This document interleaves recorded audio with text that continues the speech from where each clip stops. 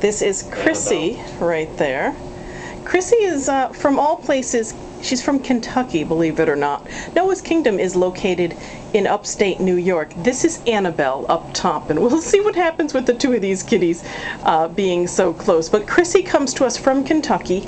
Uh, we had a uh, rescue situation where uh, I kind of refer to it uh, as a uh, underground railroad of sorts. We had one volunteer in Kentucky drive a certain distance, and uh, more volunteers then uh, reached out and took Krissy and some other cats, and all the way from Kentucky to upstate New York.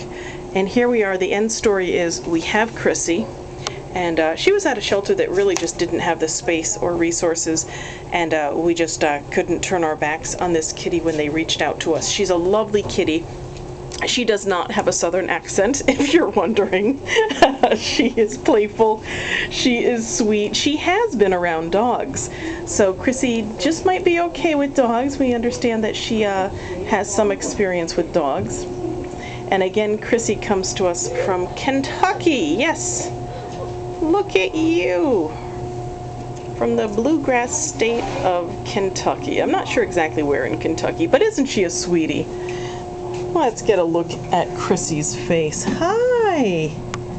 She is gray, she is pretty, and uh, we love this little Southern Belle. So thank you for watching Krissy, and uh, she is available currently for adoption through Noah's Kingdom Humane Society.